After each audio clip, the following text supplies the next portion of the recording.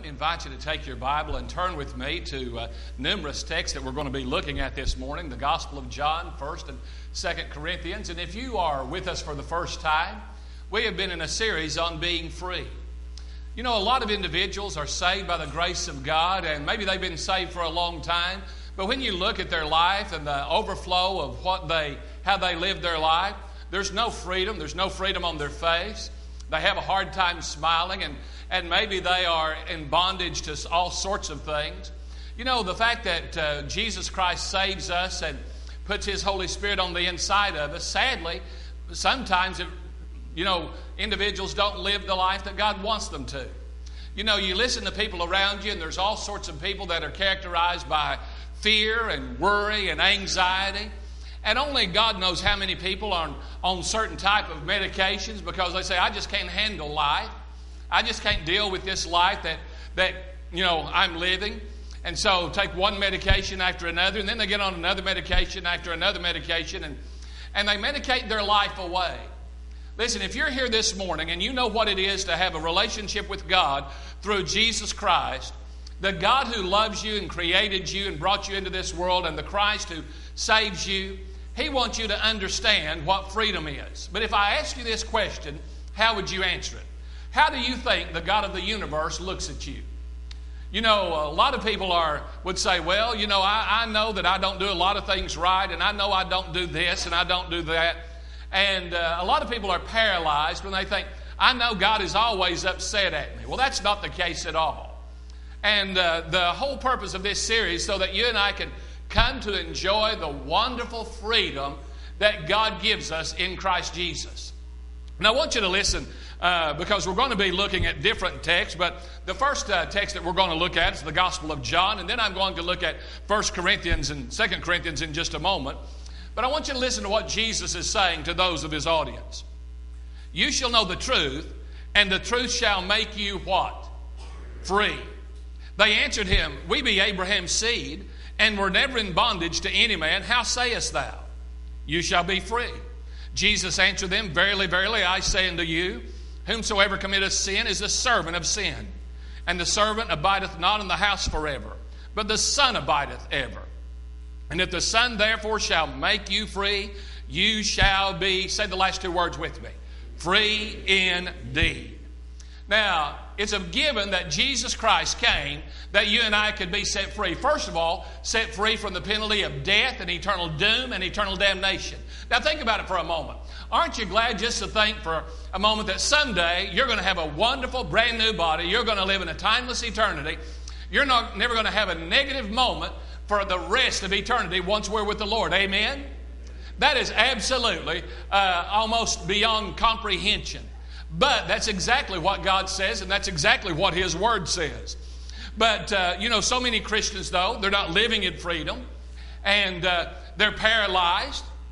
They're paralyzed in their life. They're paralyzed in their marriage. They're paralyzed in their home. Why? Because they're absolutely missing the life God purposed. Now, listen carefully. When Jesus Christ saved you, do you think He saved you to continue to walk and live in bondage? No. But so many people are. They are in the bondage of perfectionism.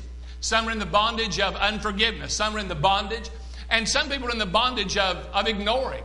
That is, they say, well, you know, I don't have anything that's, uh, that's controlling me. Some people are controlled by their jobs. Now, yes, we have to have jobs, we have to have income, we have to make ends meet, and, and we need to do everything we can. But some people are in bondage to their job.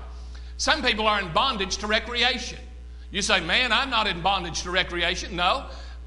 Some people are out there and they say, you know what, every free minute I want to be doing something form of recreation. I want to be hiking or I want to be doing this. In other words, really, recreation has them in bondage.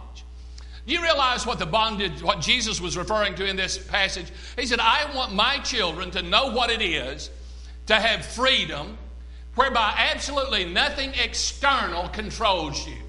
You're not controlled by worry. You're not controlled by all the concerns that are in this world. Because stop and think about it for a moment. I want you to listen.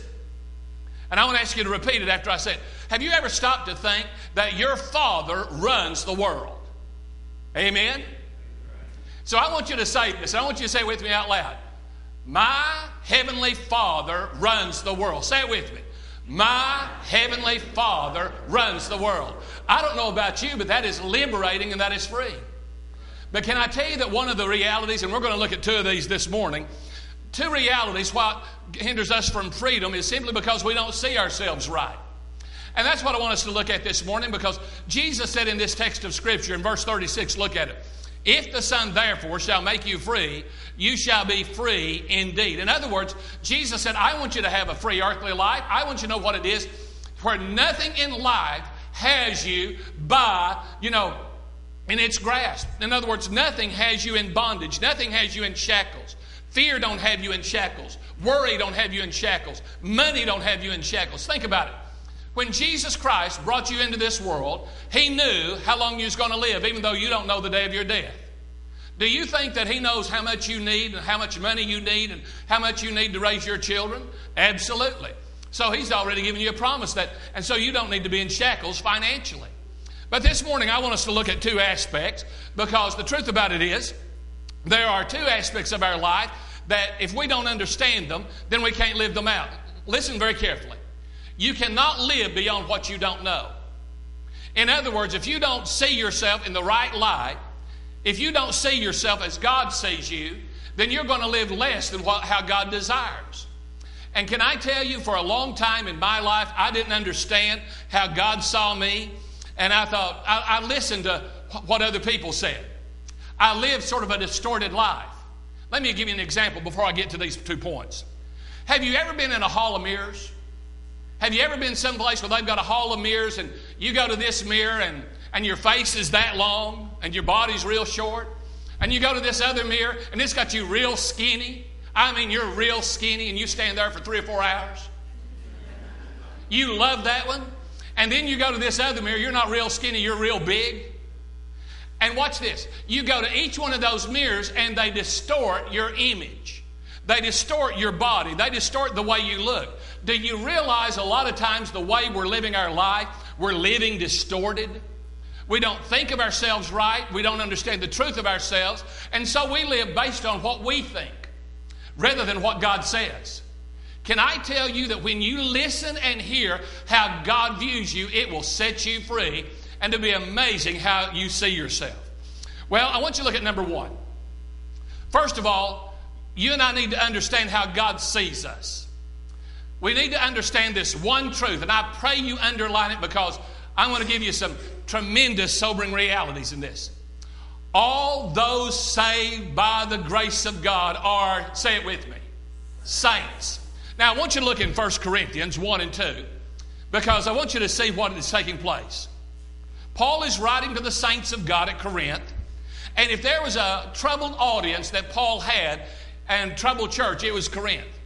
There were women arguing with one another. And there was one man in the fellowship, he was having sexual relations with either his mother in law or stepmother or the situation. And, and Paul said, It's reported this is happening among you. And so uh, he's writing a letter to them and he's uh, under the inspiration of the Spirit of God. But I want you to listen to it very carefully. Paul, called to be an apostle of Jesus Christ through the will of God, and Sosthenes, our brother unto the church of God, which is at Corinth, to them that are sanctified, that means set apart, in Christ Jesus, called to be saints, with all that in every place call upon the name of Jesus Christ our Lord, both theirs and ours. Now, here's the picture. Paul is talking to the saints of God. He's talking to those that are saved and there's something interesting you need to look in your copy of the scripture and notice. Have you got your copy of the scripture open? Are you looking at it? When you look at the phrase call to be saints, do you notice that the two words to be are italicized? Do you know why they're italicized? They're italicized because they were not in the original text. That's simply there to give it flow. Whenever you see italicized words, that means that they're there to give flow to the text, and you see it different times in the King James. Now, what in the world is is Paul doing? He said, I want to speak to you and I want to tell you who you really are in the sight of God. I want you to grasp, I want you to grab hold of, I want you to get in your mind who and what God says about you and what you uh, and how you understand what he says about you. So he says, I want to talk to you because you are called saints. Do you get that? Now, if you look at the word saint, the word saint is 96 times in the Old and New Testament. But listen, I want you to really tune in right here. Do you know how many times the phrase sinner saved by grace is in the Bible?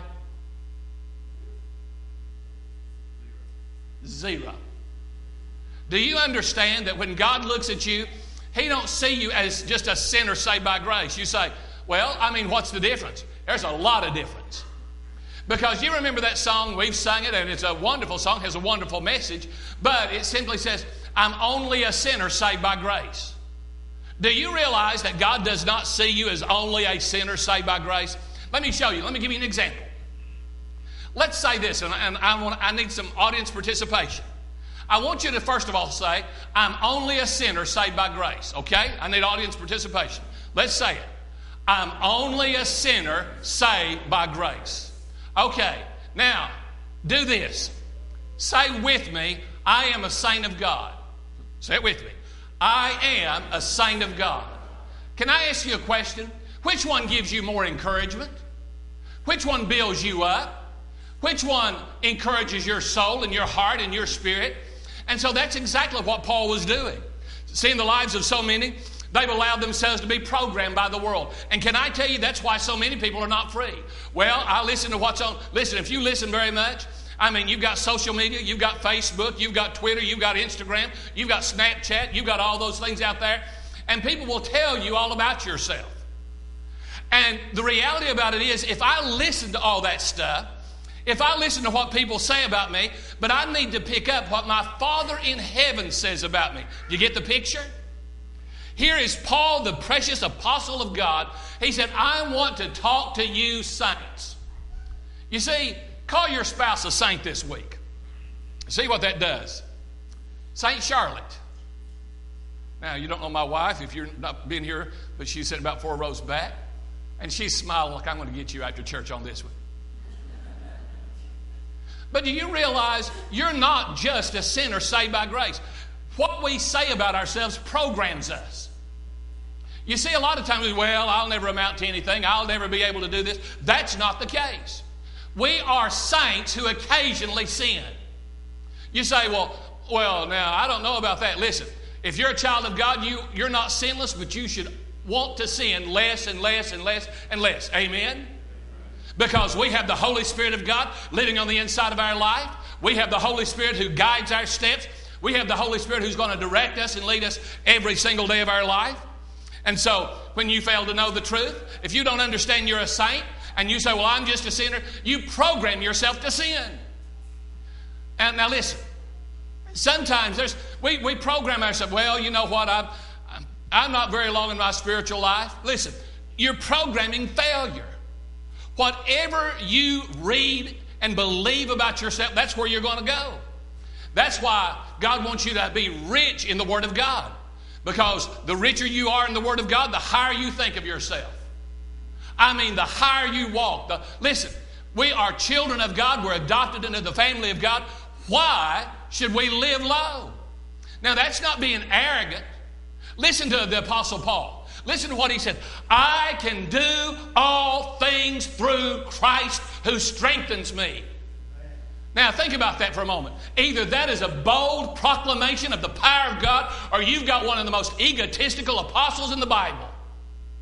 No, he's not being egotistical. He said, I know the risen Christ lives on the inside of me. I can handle anything that the world throws at me because I have the sinless Son of God living on the inside of me.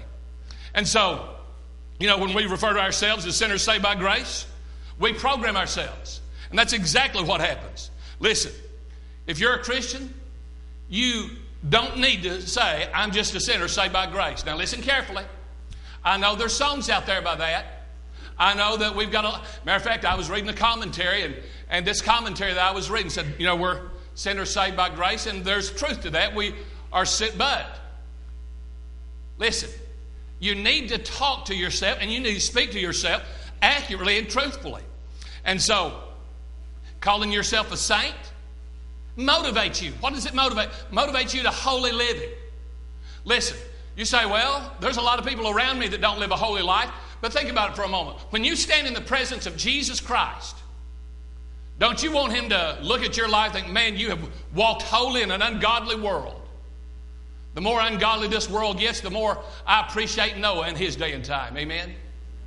I mean, in the culture that was ungodly and Christless and godless in his day and time, here is Noah that he found favor in the sight of God. And listen, don't you want to have prayers answered? And sometimes we program ourselves to sin, and then we wonder why God don't hear and answer my, our prayers.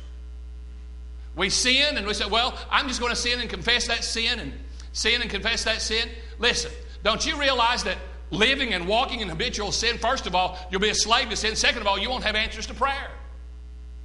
And so many people miss, well, why don't God hear and answer my prayer? He used to answer prayer. No, He still answers prayer, but listen, if you have a heart that you're not going to obey God, then you're going to miss out on His best.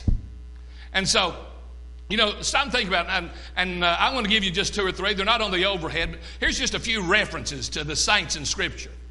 In Matthew 27, and the graves were opened, and many bodies of the saints which slept arose. Romans 1 7, to all be in Rome, beloved of God, called to be saints. Grace to you and peace from God our Father and the Lord Jesus Christ. Romans 15, but now I go into Jerusalem to minister to the saints 1 Corinthians 6. Do you not know that the saints, watch this, this is your job assignment.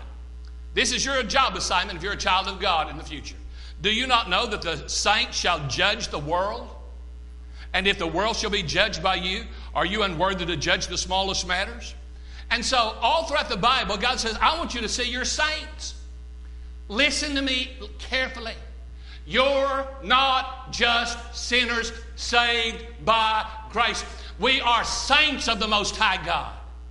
We have a holy calling. We have a wonder. Listen, you have a big assignment in the future. You're going to judge angels, first of all. You're going to judge the world, second of all. God's going to give you an assignment. I don't know how many angels you're going to judge. Maybe 10,000, 20,000, 30,000. Maybe, I don't know how many angels there are. Only God does. But that's, and so we don't need to walk through this life wimpishly, belittling ourselves, degrading ourselves. Why? Our dad runs the world. Man, we ought to walk high.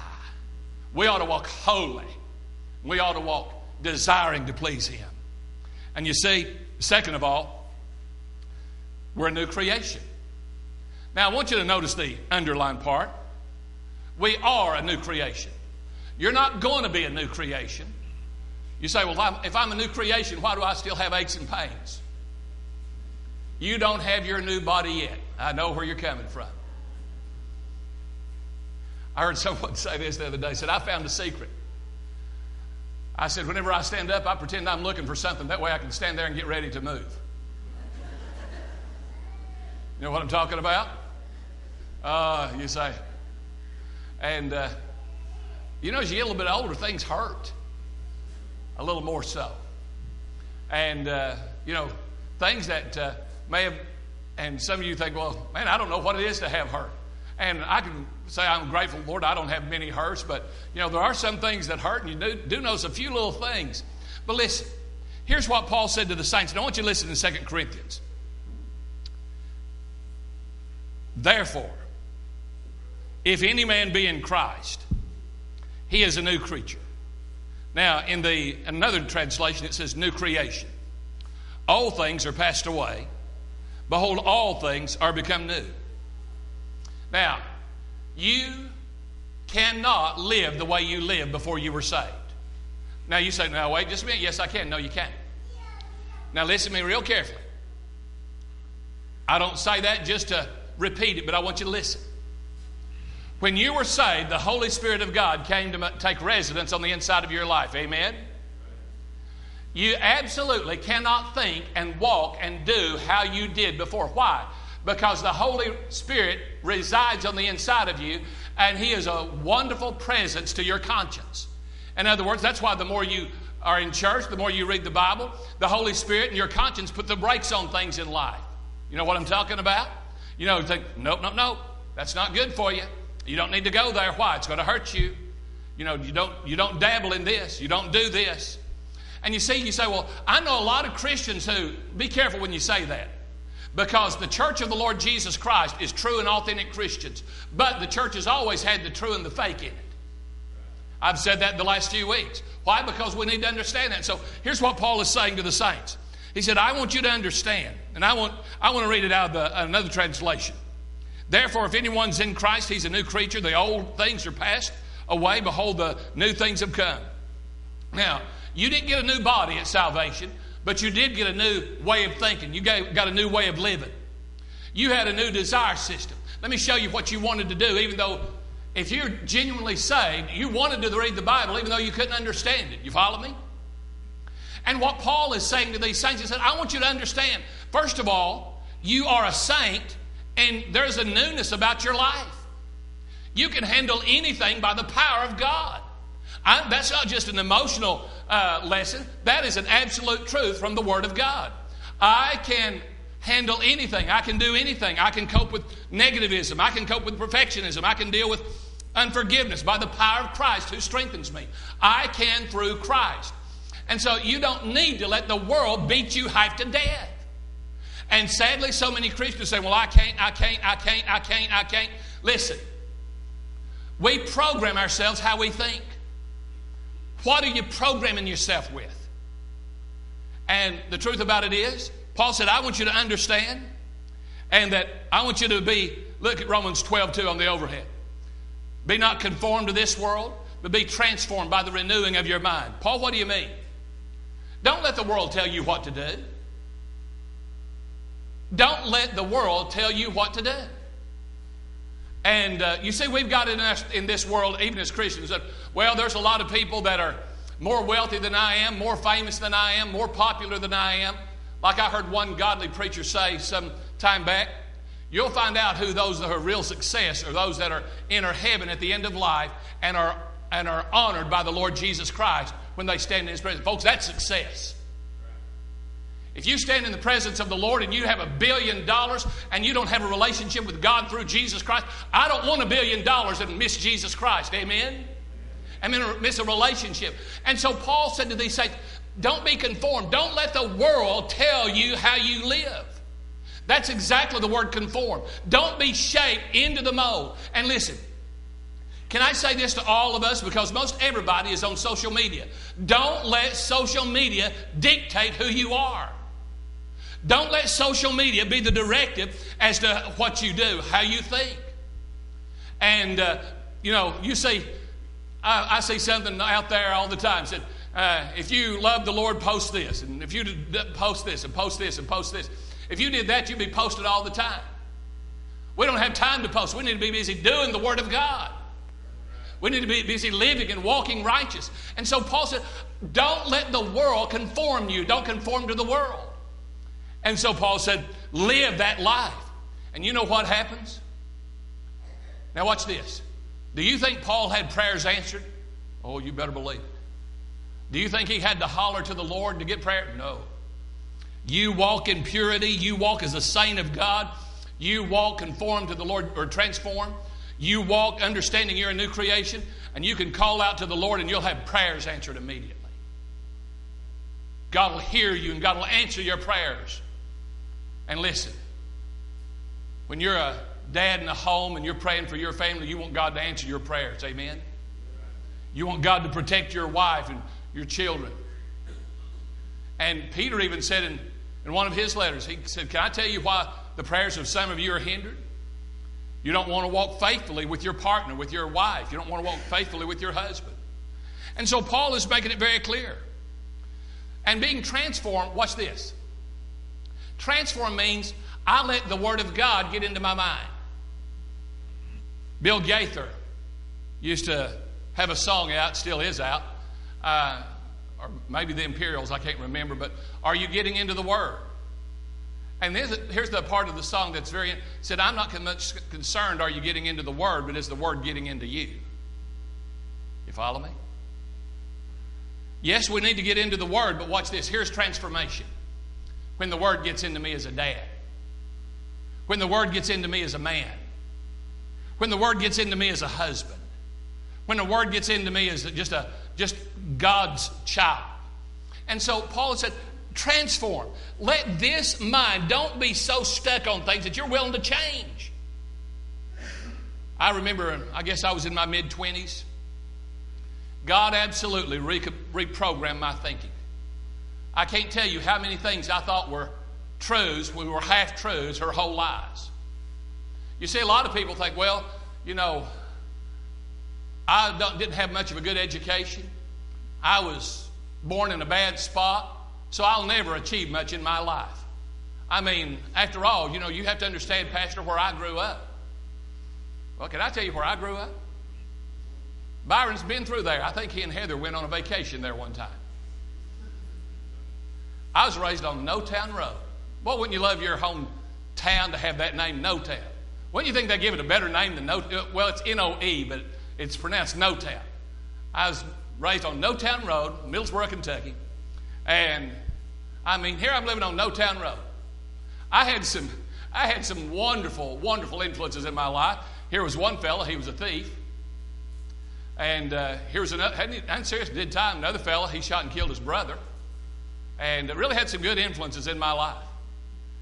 And do you realize, listen, God says, I'm not going to make you based on your past. I'm going to make you in spite of your past. And that's exactly what Paul You be conformed to this world and you're going to be in trouble. And he said, You be transformed. And the thing about it is, I want you to notice this. I want you to notice on the overhead. Satan knows. Look at the overhead. I hope you understand. Because Satan knows that we live based on what's in our mind. He does everything in his power to keep us from absorbing and learning the Word of God. Do you understand that? He don't want you to know that you're free. He don't want you to walk free. He don't want you to laugh. He don't want you to have joy. He wants you to believe that your past has got to hold you anchored, and I mean you've got to stay anchored to your past because of your past. It's sort of like I told you the illustration, but it's worth using again. Like that little kitten. It was in a little kitty house or whatever, and a little and no doors to the side or no walls to the side, no wall in the back. It just had a little front. Had a little cage in the front, and that little kitty thought he was still in bondage. He was just standing there, didn't move to the right, moved to the left to get out of the cage. Didn't move to the back. He was just still right there, thought he was in bondage. Can I tell some of you, you think you're still in bondage when God freed you a long time ago? Some of you are living in bondage because you're just continuing repeating past cycles.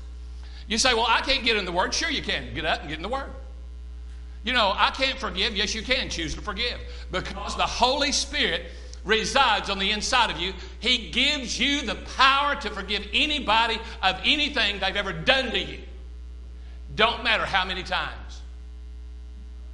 And the truth about it is, Satan don't want you to learn.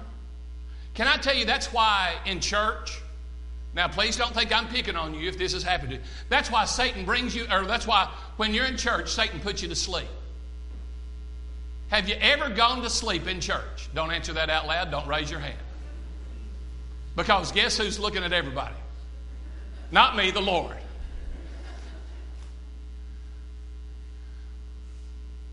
One of my family members, I won't impersonate him because sometimes he watches through YouTube and he lives in another city, and he said, I, I liked your illustration about the family, and uh, because he lives in, and uh, so everything that we have is on YouTube, and and just as soon as we would go to church, he he would rest his eyes. Never did go to sleep; he'd just rest his eyes. But now listen very carefully. Don't it make sense? If Satan can put you to sleep for 30 minutes, you've lost all the Word of God. Oh, he is so good at his craft. Have you ever gone to sleep praying? I have. Been praying, gone right to sleep, and and I thought, Lord, what? Because Satan loves. What, look at this. Satan knows that we live based on what's in our mind. That's why he don't want you to get in the Word of God. He don't want you to know you're free. He don't want you to call yourself a saint. Listen, you should practice this week, husband and wife. Call each other saints. You might have to take your kids to the hospital. Dad, you're calling mom a saint? Mom, you're calling dad a saint? That's who our Father calls us. Why? Listen, If our God in heaven, our Father, calls us saints, what right do we have simply to say we're just sinners saved by grace? Can you answer that for me? We don't have a right just to call ourselves sinners saved by grace when He calls us a saint. And that's, that's simply the, the truth of the Word of God. And so, you know, He don't want us to live based on the past, and that's what Paul said transform. And by the way, it takes an entire lifetime to transform. Because guess what? If you had negative influences in your life, they just didn't happen in one day's time, did they?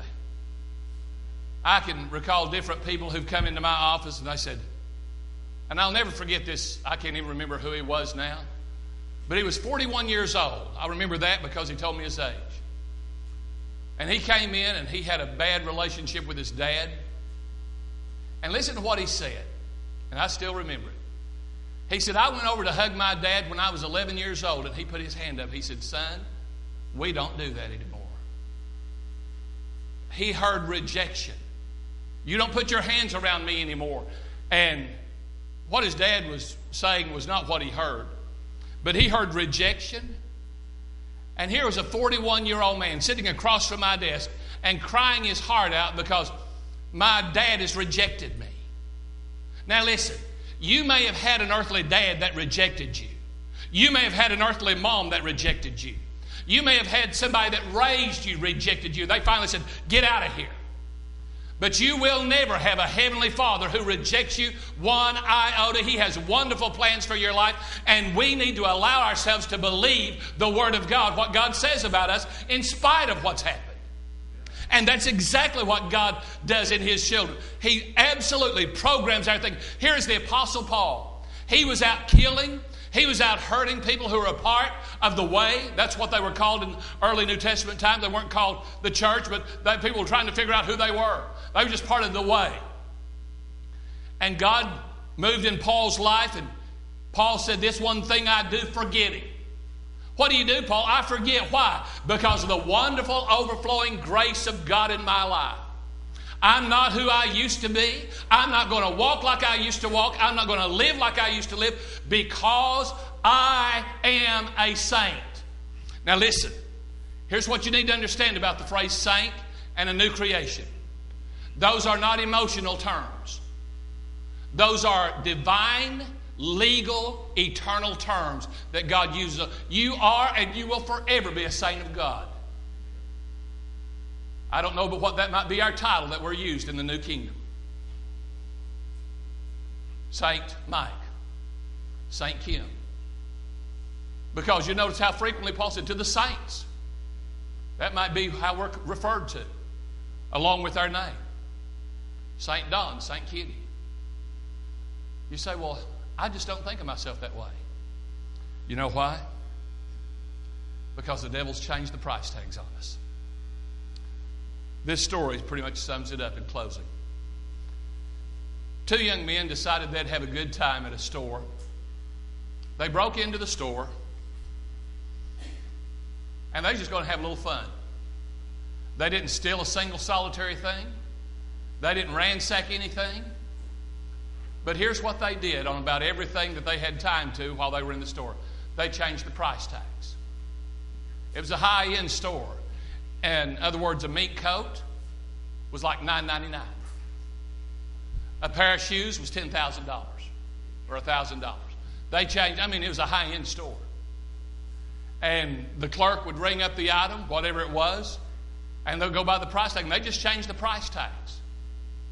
Now, here's the point the devil loves to change the price tag in our life. He wants us to believe that we're somebody we're not, and we're, we are somebody that God not, didn't make us to be. And, and He tries to confuse. In other words, you're worthless, He says. You'll never amount to anything, He says. You can't overcome this, He says. But would you let the Lord iterate into your soul and your spirit? Paul said, You know what? I'm not going to listen to the devil. I'm not going to give place to the devil. I'm going to trust the wonderful, transforming power of God, and I can do all things through Christ who strengthens me. I can overcome any past. I can overcome any issue. I can overcome negativism. I can overcome, I can do anything through Christ.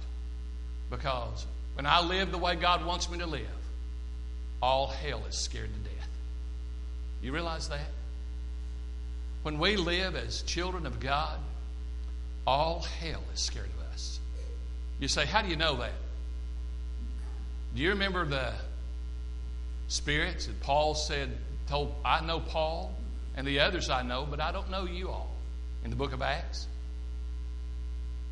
Do you realize when you allow yourself to be transformed, you allow yourself to be governed by God, you allow, you grow, the Father is pleased, the Holy Spirit is pleased, the Son is pleased, and you scare the devil to death. Why? Because there's a man of God, there's a woman of God, there's a boy or a girl that's wanting to be what I want them to be. See, Satan loves to petrify us. He loves to scare us. He loves to do everything that he can to do us in. God don't want us to be scared. He said, I want you to know the truth. And when you know the truth, the truth sets you free. I've used this before and I'm going to use it in the closing. You say, Well, I'm scared of the devil. Well, we don't need to toy with the devil. We don't need to test the devil. We don't need to, but we need to understand the truth.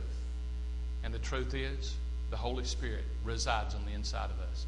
And after all, if the devil was so, so power, power, uh, powerful, if he could do with us whatever he wanted, let me show you. Let me use a little example. If the devil could kill us, if the devil could kill us, do what he wanted to, why don't he kill me right now, right where I stand? You say, Pastor, I wouldn't say that. Can I tell you two things I've learned in my walk with the Lord? The devil loves to scare us to death. You know what I mean? And a good example of that is you go to the movies. You ever been to the movies and you got scared half to death and you couldn't even go home? And I remember a movie from my childhood days. It still rests with me. It's called The Satan Bug. You might have seen that years ago. Oh, it scared me to death, and I was just about nine or ten years old, and I told my oldest sister, I said, I'm not sleeping by myself. I was afraid of that bug. But these big old monsters that are projected onto a screen out there, you go back and you look and they're about like that big.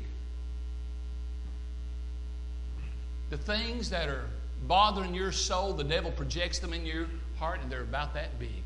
You say, Father, get this out of my life. I want to walk on. I want to be what you purpose me to be. That's why Paul said, I do anything through Christ. Let Satan try to stop me, and I'll use the power of God upon him. You see, when you understand who you are, it's amazing what God does. This one last illustration, and I close.